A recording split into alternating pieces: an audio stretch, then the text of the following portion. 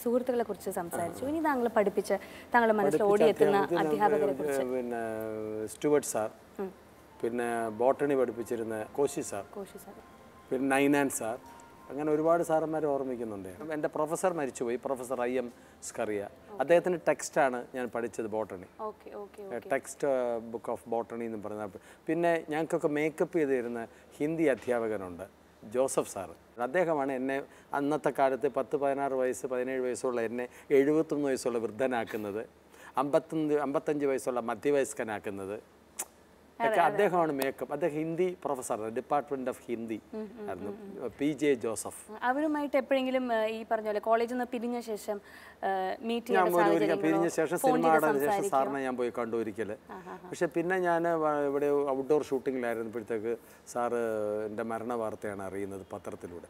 അപ്പോഴൊക്കെ പോയി പറ്റി പോയി കാണാനോ എത്തിപ്പറ്റാൻ സാധിക്കാത്തതിലോ ഇന്നും ദുഃഖിക്കുന്ന ഒരു വിദ്യാർത്ഥിയാണ് ഞാൻ. കോളേജിൽ പഠിച്ച ഒരു അധ്യാപകൻ ഇതുപോലെ താങ്കളോട് എന്ത് പറയാനുണ്ട്. നമുക്ക് കേൾക്കാം. മാറി വൈനസ് കോളേജിന്റെ ചരിത്രത്തിൽ ആദ്യമായിട്ട് നമ്മൾ കോളേജിന്റെ ക്യാമ്പസിൽ വെച്ച് ഒരുപക്ഷെ മലയാളത്തിലെ ആദ്യത്തെ ക്യാമ്പസ് സിനിമ എന്ന് വിശേഷിപ്പിക്കുന്ന ഉൾക്കടൽ നമ്മൾ ഷൂട്ട് ചെയ്യുന്നത്. എന്റെ നോവലിനെ അടിസ്ഥാനമാക്കിയിട്ട് നിർമ്മിച്ച ഉൾക്കടലിൽ. ശ്രീകുമാർ നല്ല വേഷമായിരുന്നു ഉൾക്കടലിൽ. ഞാൻ ആ നോവൽ എഴുതി വീണ്ടും അത് വായിച്ചപ്പോൾ എനിക്ക് തോന്നി സിനിമയാക്കുന്നതിന് വേണ്ടി തിരക്കഥ എഴുതുമ്പോൾ എനിക്ക് തോന്നി ഈ ഒരു പർട്ടിക്കുലർ ക്യാരക്ടർ വാസ്തവത്തിൽ ശ്രീകുമാർ തന്നെയാണല്ലോ എന്ന് എനിക്ക് തോന്നി. മുഖത്ത് നോക്കി പറയാൻ എനിക്ക് യാതൊരു മടിയില്ല. നിങ്ങളെപ്പോലൊരു ജീനിയസ് മലയാളത്തിൽ മലയാള സിനിമയിൽ വേറെ ഇല്ല എന്ന് ഞാൻ പറയും. അത് ആരെയും ഇകഴ്ത്തിക്കൊണ്ടല്ല പറയുന്നത്. ഒരു അധ്യാപകൻ എന്നുള്ള നിലയ്ക്ക് ഒരു സുഹൃത്ത് എന്നുള്ള നിലയ്ക്ക് ഒരു സ്വന്തം സഹോദരൻ എന്നുള്ള നിലയ്ക്ക് എനിക്ക് നിശ്ചയമായും ഞാൻ പറയാം. ജഗദീഷ് ശ്രീകുമാർ എന്ന നടന്റെ കലാകാരന്റെ വളർച്ചയിൽ വലിയ അഭിമാനം നിറഞ്ഞ അഭിമാനം മനസ്സിൽ സൂക്ഷിക്കുന്ന ഒരാളാണ് ഞാൻ എന്ന് ഇപ്പോൾ ഈ മുഖത്ത് നോക്കി പറയാൻ ഒരു അവസരം ലഭിച്ചു എന്നുള്ളത് വലിയ സന്തോഷം ആയി ഞാൻ മനസ്സിൽ സൂക്ഷിക്കുന്നു. ഇത് കവിഞ്ഞ ഒരു വലിയ ഭാഗ്യമല്ലേ അത്. എന്റെ മലയാളം അധ്യാപകനാണ് അദ്ദേഹം. Department of Malayalam Onakkoor sir ഈ നാടക അഭിനയത്തിലൊക്കെ ഒരുപാട് സഹായം ചെയ്തിരുന്നു നിർദ്ദേശങ്ങൾ തന്നിരുന്നു. നാടക റിഹേഴ്സൽ വന്ന് നോക്കുമായിരുന്നു. പക്ഷേ ഇപ്പോൾ എന്നെ പഠിപ്പിച്ച അധ്യാപകൻ ഇപ്പോൾ ഇങ്ങനെ എന്നെപ്പറ്റി പറയുമ്പോൾ അതൊക്കെ ഒരു വലിയ ഏതാണ്ട് ഇന്ന് നിലവിൽ സർക്കാർ തരുന്നതിനേക്കാളും അല്ലെങ്കിൽ സ്വകാര്യ അവാർഡുകളെക്കാളും ഒക്കെ വളരെ വളരെ വളരെ വളരെ വിലമതിക്കുന്ന ഒരു അവാർഡാണ്. തീർച്ചയായിട്ടും. പ്രത്യേകിച്ച് ഓണക്കൂർ സാറൊക്കെ അങ്ങനെ മുഖം നോക്കാതെ അഭിപ്രായം പറയുന്ന വ്യക്തികളാണ്. ആരെക്കുറിച്ച് ഏത് അഭിപ്രായവും മനസ്സിൽ തോന്നുന്നത് വെട്ടി തുറന്ന് പറയുന്ന നല്ല ഒരു വ്യക്തിയാണ് അദ്ദേഹം. അദ്ദേഹം ഒരിക്കലും എന്റെ ഒരു പ്രീതി സമ്പാദിക്കാനായിട്ട് അങ്ങനെ പറയുന്ന ഒരാളല്ല. ആരെക്കുറിച്ചും അങ്ങനെ പറഞ്ഞിട്ടുമില്ല. അപ്പോൾ പണ്ട് മുതലേ എന്റെ കാര്യങ്ങൾ അറിയാവുന്ന ഒരു അധ്യാപകനാണ്. പക്ഷെ അതൊക്കെ ആയി അതിന്റെ എനിക്ക് വലിയ മാനസികമായിട്ട് വളരെ സന്തോഷം. ഇപ്പോൾ ഓണക്കുർ സാറ് കേൾക്കുകയാണെങ്കിൽ സാറിന്റെ ഈ പറഞ്ഞ പോലെ സാറിനോടുള്ള ഗുരുത്വം ഇന്നും ഞാൻ മറന്നിട്ടില്ല. സാറിന്റെ അനുഗ്രഹങ്ങളൊക്കെ ഇന്നും എന്നോടൊപ്പം ഉണ്ടെന്ന് എനിക്ക് മനസ്സിലായി. തീർച്ചയായിട്ടും എനിക്കൊരു വലിയ വലിയ അംഗീകാരമായിട്ട് ഞാനിതിനെ കാണുന്നു. ഇപ്പോൾ താമസിക്കുന്ന ഇപ്പൊ ജഗതി ഞാൻ പേയാട് അവിടെ ഞാനുണ്ട്. എന്റെ എന്റെ ഭാര്യ ശോഭയുണ്ട്. മകനുണ്ട്. മകന്റെ ഭാര്യ പിങ്കി. അവർക്കൊരു കുട്ടിയുണ്ട്. ജഗൻ ആണ് പേര്. മകൾക്ക് ഒരു കുട്ടിയായി. ഒരു മകൾ പാർവതി. അവൾക്കൊരു കുട്ടിയായി. ജോർജ് എന്നാണ് പേര്. ജോജി ജോജി എന്ന് ഞാൻ വിളിക്കും. ജോർജ് എന്ന് വിളിക്കും. എത്ര എത്ര എത്ര വയസ്സാണ് പിന്നെ ഒരു ഇളയ ഒരു ഏറ്റവും ഇളയ മകളുള്ളത് പ്ലസ് ടുവിൽ പഠിക്കുന്നു. ശ്രീലക്ഷ്മി. ശ്രീലക്ഷ്മി. എന്റെ മകന്റെ ഒരു വയസ്സ് രണ്ട് വയസ്സ് മൂന്ന് വയസ്സൊന്നും ഞാൻ അടുത്തില്ല. ഇപ്പം ഞാൻ ഈ കുഞ്ഞുങ്ങളെ കാണുമ്പോഴത്തേക്ക് എനിക്ക് നഷ്ടപ്പെട്ടു പോയത് ഈ കുട്ടികളിലൂടെ ഞാൻ കാണുകയാണ്. പക്ഷെ അതാണ് ജീവിതം. കുഞ്ഞുങ്ങൾക്കൊരു ഘട്ടം വരെ തോന്നും സ്നേഹമില്ലാത്ത അച്ഛൻ എന്ന് തോന്നാം തോന്നിയതിൽ അത്ഭുതമില്ല. പിന്നെ അവർക്ക് മനസ്സിലായി സ്നേഹം ഇല്ലാഞ്ഞിട്ടല്ല. സാഹചര്യങ്ങൾ കളങ്ങാൻ ആയതുകൊണ്ടാണ് അവർ അവർ മുതിർന്നവരാകുമ്പോൾ ഇപ്പം എന്റെ മകന് മനസ്സിലാവുന്നുണ്ട്. ഇപ്പോഴാണ് അവന് അച്ഛന്റെ സ്നേഹം മനസ്സിലാവും അച്ഛനായി കഴിയുമ്പോൾ കാരണം എനിക്ക് സമയക്കുറവുകൊണ്ടാണ് അതെല്ലാം ഇപ്പം പിന്നെ ഈ കുഞ്ഞിനെ കാണുമ്പോഴത്തേക്ക് എന്റെ മകന്റെ ബാല്യം ഞാൻ മറന്നുപോയ എനിക്ക് കാണാൻ പറ്റാതിരുന്ന കാലഘട്ടങ്ങൾ ഞാൻ ഈ കുഞ്ഞിലൂടെ കാണുക റീലിവ് ചെയ്യാണ്. ആ അതൊരു മനസ്സിന്റെ ഒരു ആശ്വാസം. അതെ. സർ ഇനി സാറിന്റെ ഒരു സുഹൃത്തിന് എന്റെ വീണ്ടും കുറച്ച് കാര്യങ്ങൾ പറയാനുണ്ട്. അദ്ദേഹം ആരാ നോക്കാം. ഞങ്ങൾ സമകാലികരാണ്. വിദ്യാഭ്യാസ കാലം മുതൽ വളരെ അടുത്ത് ഇടപഴകാനും സഹകരിക്കാനും ആ സന്ദർഭം കിട്ടിയിട്ടുള്ള നല്ല സുഹൃത്തുക്കളാണ്. അതുപോലെ തന്നെ ഞങ്ങൾ അയൽവാസികളാണ്. എന്റെ പ്രിയ സുഹൃത്ത് ജഗദീഷ് ശ്രീകുമാർ മാർവാനീസ് കോളേജിൽ നിന്ന് അഭിനയത്തിന് സമ്മാനം വാങ്ങി യൂണിവേഴ്സിറ്റി യുവജനോത്സവത്തിൽ വിജയിച്ച് അഖിലേന്ത്യാ ടൂർ നടത്തിയത് ഓർക്കുന്നുണ്ടോ ഇപ്പോഴും? ആ പഴയ അനുഭവങ്ങൾ അദ്ദേഹത്തിന് തീർച്ചയായിട്ടും ഓർമ്മയുണ്ടാവും. ശ്രീ ജഗതി ഓർക്കുന്നുണ്ടോ എന്ന് ഞാൻ ഒരിക്കൽ കൂടി ചോദിക്കുന്നത് അവിസ്മരണീയമായ അനുഭവങ്ങൾ മനസ്സിൽ ഇപ്പോഴും നിറഞ്ഞു നിൽക്കുന്നത് കൊണ്ടാണ്. അന്ന് ജഗതി ശ്രീകുമാറിലെ ഒരു വലിയ നടനെ അദ്ദേഹത്തോടൊപ്പം സഞ്ചരിച്ചിരുന്ന ആ സംഘത്തിലെ അംഗങ്ങളായ ഞങ്ങൾക്കെല്ലാം കാണാൻ കഴിഞ്ഞിരുന്നു. എന്റെ മകൾ മൂന്നാം ക്ലാസ്സിലോ രണ്ടാം ക്ലാസ്സിലോ പഠിക്കുന്ന സമയത്താണ് ഒരു സിനിമയിൽ അഭിനയിച്ചു. അത് മോഹൻലാലും ജഗദീഷ് ശ്രീകുമാറും ഒക്കെ കളിയിൽ അല്പം കാര്യം എന്നായിരുന്നു ആ സിനിമയുടെ പേര്. ശ്രീകുമാർ ഉണ്ടായിരുന്നു ആ സിനിമയിൽ. ശ്രീകുമാറായിരുന്നു രക്ഷകർത്താവിന്റെ സ്ഥാനത്ത് നിന്ന് മകളെ ഷൂട്ടിങ്ങിന് എല്ലാവിധ സഹായവും ചെയ്തത്. ഞാനിപ്പോൾ ഓർമ്മിക്കുന്നു. അപ്പോൾ ഇടയ്ക്ക് വീട്ടിൽ വരുമ്പോൾ ശ്രീകുമാർ ചോദിക്കും നമ്മുടെ സിനിമാ നടി ഇവിടെ ഉണ്ടോ? എന്ന്. ചിലപ്പോഴൊക്കെ ഞങ്ങൾ ചില മാധ്യമങ്ങളിലൂടെ പത്രങ്ങളിലൂടെ അടുപ്പക്കാരാണെന്ന് വന്നിട്ടുണ്ട്. അപ്പോൾ ഞാൻ ചില യോഗങ്ങളിലൊക്കെ പോകുമ്പോൾ എന്നോട് വളരെ കാര്യമായിട്ട് ഞങ്ങളുടെ സഹപ്രവർത്തകർ ചോദിക്കും. ആ ജഗദീഷ് ശ്രീകുമാറിനെ സാറിന് അറിയാം സാധാരണ മന്ത്രിമാരെയും രാഷ്ട്രീയ നേതാക്കളെയൊക്കെ അറിയാം എന്ന് പറയുന്നതാണ് ഒരു ഗമ. അപ്പോൾ എന്നോട് ഇങ്ങോട്ട് ചോദിക്കും ജഗദീഷ് ശ്രീകുമാറിനെ അറിയാമോ? അപ്പം ഞാനും അല്പം പോലും ഗമ വിടാതെ പറയും അറിയാം. എന്റെ അയൽവാസിയാണ് എന്റെ സുഹൃത്താണ്.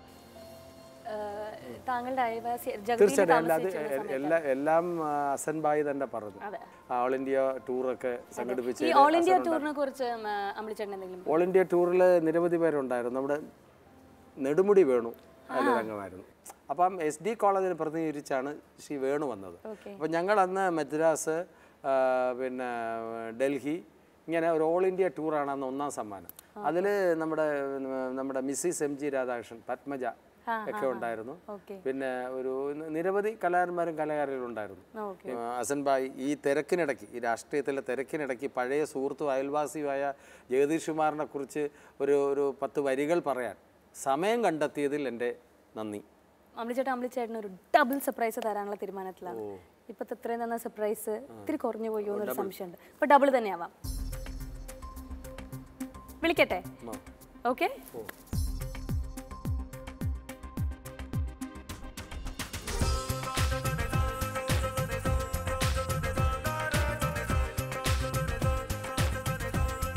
പത്മജ ഗിരിജ.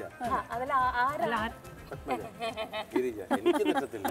ഇത്രയും വർഷം അടുത്ത് പരിചയമുള്ളതുകൊണ്ട്. എനിക്ക് രണ്ടുപേരും പത്മജ ഗിരിജ വരും എന്നുള്ള ധാരണയില്ല. വരാൻ എങ്ങനെ സാധിച്ചല്ലോ എനിക്ക് ആദ്യം എന്റെ നന്ദി പറഞ്ഞോട്ടെ അതിന്. താങ്ക്സ് താങ്ക്സ് വന്നതിന്. എന്നെക്കാൾ കൂടുതൽ ആ കാര്യങ്ങളെ കുറിച്ച് ടൂറിനെ കുറിച്ച് ഇപ്പം മിസ്റ്റർ ഹസൻ ഹസൻ ബായ് പറഞ്ഞു കേട്ടു. എന്താ അറിയോ പൂർണിമ? ആ അന്നത്തെ ആ ടീമിലുണ്ടായിരുന്ന ഒട്ടുമുക്കാൽ പേരും ഇന്ന് വളരെ പ്രശസ്തരാണ് അതെ അദ്ദേഹം സംസാരിക്കുമ്പോൾ തന്നെ നമുക്കത് ഫീൽ ചെയ്യാൻ പറ്റുന്നുണ്ട്. ചിന്തിക്കാൻ പോലും പറ്റാത്ത ഉയരത്തിലാണ് ഇന്ന് ഇവരൊക്കെ. ശരിക്കും അന്ന് ഇവരുടെയൊക്കെ കഴിവുകൾ ഞങ്ങൾ കണ്ടിട്ട് ഞങ്ങൾ തന്നെ ഇവരോട് പറഞ്ഞിട്ടുണ്ട്. നിങ്ങളൊന്നും ഇവിടെ നിൽക്കേണ്ടവരല്ല എത്രയോ ഉയരത്തിലെ ഇവരൊക്കെ കുടുംബിനികളായ ശേഷം പിന്നെ ഈ കലാപരമായ രംഗമൊക്കെ വിട്ട് നേരെ വീട്ടമ്മമാരായിട്ട് അങ്ങ് അന്നത്തെ ഒരു കാലഘട്ടം അങ്ങനെ ആയിരുന്നു ഞങ്ങളെന്ന് കുറച്ച് സാഹിത്യ പിന്നെ കഥ അതെ കഥ നന്നായിട്ട് കഥ എഴുതി രണ്ടുപേരും ചിത്രം വരയ്ക്കും. പക്ഷെ ഇതൊന്നും ജനത്തിനറിയില്ല എനിക്ക് ഞങ്ങളെ പോലുള്ളവർക്ക് അറിയാം. വേണുവിനറിയാം എനിക്കറിയാം.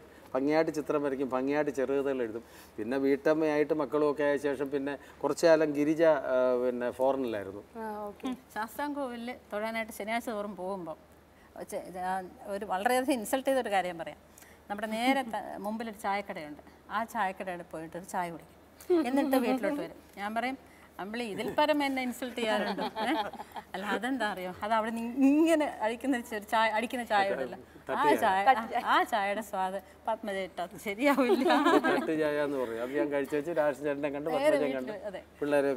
ഈ നമ്മുടെ കാവ്യം കാവ്യം പോലും എനിക്ക് തോന്നുന്നു ശബരിമല നോയമ്പാണ്. അല്ല ചേട്ടനും ഒക്കെ ഇവരെല്ലാം ഒരേ ആ കാലഘട്ടമാകുമ്പോൾ ഞങ്ങൾ ഇന്നത്തെ പ്രശസ്തനായ സൗണ്ട് എഞ്ചിനീയർ പത്മജയുടെ മകൻ. എന്നൊക്കെ കൊച്ചു പിള്ളേരാ. കാത്തു മകൾ പിന്നെ അവരെല്ലാം ഇപ്പൊ വലിയ വലിയ അവസ്ഥയിലും നിലയിലും ഒക്കെ എല്ലാവരും സുഖമായിട്ടൊക്കെ ജീവിക്കുന്നു. അല്ല സത്യത്തിൽ അന്ന് ഞങ്ങൾ ടൂറ് പോയ സമയത്ത് ആദ്യം ടൂർ എന്ന് പറഞ്ഞാൽ അവിടെ മദ്രാസും ഡൽഹി ആഗ്ര. മാത്രമേ ഉള്ളൂ. മദ്രാസ് ഡൽഹി ആഗ്ര. മദ്രാസ് ചെല്ലുമ്പം വിലക്കി വാങ്ങിയ വീണയുടെ ഷൂട്ടിംഗ് നടക്കുകയാണ്. അല്ലേ? അപ്പം ആ സമയത്ത് പിന്നെ എനിക്കിപ്പോഴും ഓർമ്മ പിന്നെ മധുചേട്ടൻ ശാരദ ചേച്ചി കെ പി സി ലളിത ചേച്ചി നസീർ സാറ് ഇവരെല്ലാം കൂടെ ഒന്നിച്ചുള്ള ഷൂട്ടിങ്ങാണ്. അപ്പോൾ അമ്പിളിയും വേണുമൊക്കെ ഒന്നിച്ച് ഫോട്ടോ എടുക്കാനുള്ള ആ പ്രായം. ഒരു ഗ്രൂപ്പ് ഫോട്ടോ. പത്മചേട്ടയിലുണ്ട് അതിൽ വേണുവൊക്കെ ഉണ്ട്. ഞാനൊക്കെ നിൽക്കുന്ന കാണാം. കണ്ടാൽ തിരിച്ചറിയില്ല. വേണുവിനെ അമ്പിളിയൊക്കെ നമ്മളിങ്ങനെ പെൻസിൽ പോലൊക്കെ ഇരുന്ന ഇവരും അങ്ങനെ തന്നെ. പക്ഷെ രണ്ടുപേരും അന്ന് ഞങ്ങൾ അന്നേ ഞങ്ങൾക്ക് ഒരു ഇൻട്യൂഷൻ ഉണ്ടായിരുന്നു. ഇവിടെ ഒന്നും നിൽക്കുന്നവരല്ല. വളരെയധികം ഉയരത്തിലെത്തും. മാത്രമല്ല ഞാൻ എപ്പോഴും ഓർക്ക് ചേട്ടൻ പറയാറുള്ളൊരു കാര്യമുണ്ട്. അമ്പിളിയുടെ മൂന്നാം പക്കം. ആ സിനിമ കണ്ടു കഴിഞ്ഞപ്പോൾ ഏറ്റവും ചേട്ടന് ഏറ്റവും ഇഷ്ടമുള്ളൊരു ഒരു സീനുണ്ട് അതിനകത്ത്. ക്യാരക്ടറിന്റെ ക്യാരക്ടറിന്റെ പേര്? കവല. കവല കവല. കവല.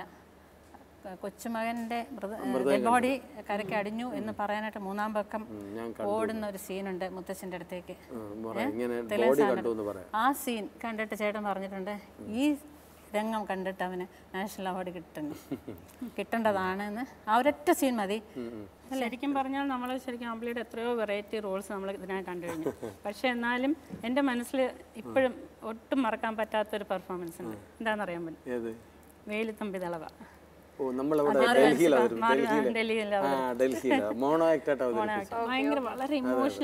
അത് പിന്നെ വർഷങ്ങൾക്ക് ശേഷം കടാക്ഷം എന്നൊരു പടത്തിൽ ഒരു സീനായിട്ട് അഭിനയിക്കേണ്ടി വന്നു. അപ്പൊ ഞാൻ ഞാൻ ആലോചിച്ചു. ഈ ഇവിടെ പോയി അഭിനയിച്ചതൊക്കെ ഇവരൊക്കെയാണ് സദസ്സിൽ. അന്ന് നമ്മുടെ ഓംചേരി സാറ് ലീല ഓംചേരി അവരെല്ലാവരും ഉണ്ടായിരുന്നു. അല്ല ശരിക്കും പറഞ്ഞിട്ടുണ്ടെങ്കിൽ ഇതിലും ചലഞ്ചിങ് ആയിട്ടുള്ള റോൾസ് ഇനിയും കിട്ടാനിരിക്കുന്നേ ഉള്ളൂ. കിട്ടട്ടെ. എന്തായാലും താങ്ക് യു സോ ഒരു വാക്ക് കൊടുത്തിട്ടുണ്ടായിരുന്നു. ഡബിൾ സർപ്രൈസ് ആണെന്ന്. പക്ഷെ അത് താങ്കളുടെ മുഖം കണ്ടപ്പോൾ എനിക്ക് മനസ്സിലായി. ഓക്കെ സർപ്രൈസ് ആയി. സത്യത്തിൽ പ്രതീക്ഷിച്ചില്ല. പിന്നെ അമ്പിളിയെ വിളിക്കാൻ വിചാരിച്ചാൽ അത് നടക്കില്ല. കാരണം ഒരിക്കലും ഒരു മൊബൈൽ ഫോൺ കൊണ്ട് നടക്കുന്ന ഒരാളല്ല. അതുകൊണ്ട് അങ്ങനെ ഒരു കോൺടാക്ട് ചെയ്യാൻ ആരും വിചാരിക്കും അത്യാവശ്യങ്ങൾക്കൊക്കെ ഞാൻ അറിഞ്ഞു കേട്ടൊക്കെ ചെന്നിരിക്കും. അത്യാവശ്യങ്ങളാണെങ്കിൽ സത്യത്തിൽ ഇപ്പൊ എനിക്ക് തോന്നുന്നു മഴവിൽ മനോ ഈ മനോരമയുടെ ഈ ഒരു വേദി നമ്മൾ നമ്മുടെ കാണാനിടയായി. വേറൊരു ആഗ്രഹമുണ്ട്. കുറച്ചു മുമ്പേ വന്ന വിജയലക്ഷ്മി. ഡോക്ടർ വിജയലക്ഷ്മി.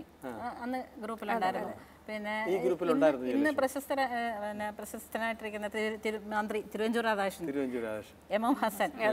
പിന്നെ ഒരുമാതിരിയുള്ള എല്ലാ പ്രശസ്തരും നെടുമുടി വേണു. അപ്പൊ ഇത്തരം വേദികളൊക്കെ ഇങ്ങനെ ചില ഒരു സമാഗമങ്ങൾക്ക് തുടക്കം എല്ലാവരും കൂടെ ഒന്നിച്ചൊരു കൂട്ടായ്മ ഞങ്ങൾ വളരെയധികം ആഗ്രഹിച്ചിട്ടുണ്ട്.